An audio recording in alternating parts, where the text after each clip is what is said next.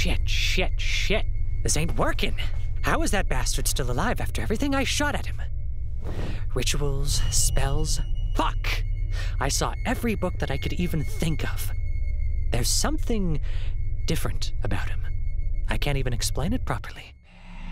The shadows, they fear him. What is he? A human?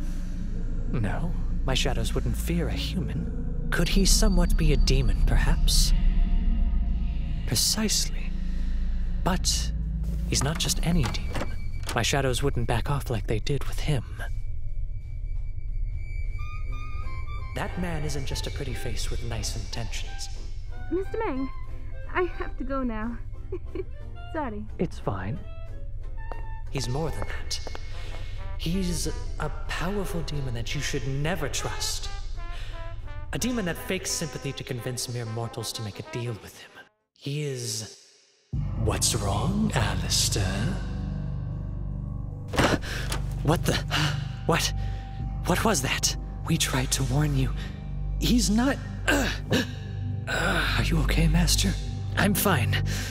Uh, he is someone I should be careful with.